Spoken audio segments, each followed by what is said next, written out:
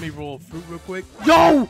No way. No, we actually got it. That's actually sick. Yeah, look at it. Okay, okay. I don't want anyone taking it. Damn, should I give it to someone? Hold on. You know what? This is what I'll do. This is what I'll do. I'll drop in a random spot. Well, they'll never know.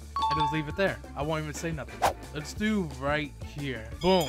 Okay. Free T-Rex fruit, whoever finds it. Wait, what? Would you know? Yo, what? Are they both cheating? And he stored it? Yo! See, he just knew there's a bomb there and picked that one up too. Is he gonna store it? Oh, this person. You're gonna give me this? Let me know in the comments if you think that's a hacker, and I'll confront him one last time.